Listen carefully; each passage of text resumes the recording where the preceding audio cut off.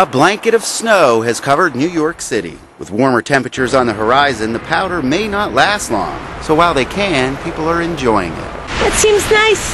It's not that, it's that pretty white snow for a little bit. I like it. I grew up with snow.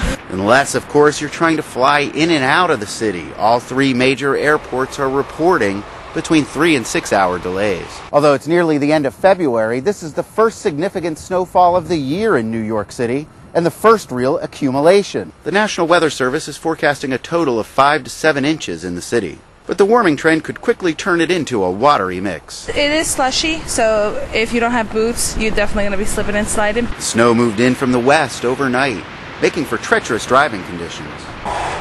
But people armed with snow shovels and salt were busy making the city easier for commuters. Turnpike officials even urged drivers to stay home if they could, to avoid accidents and delays. Ted Shaffrey, The Associated Press, New York.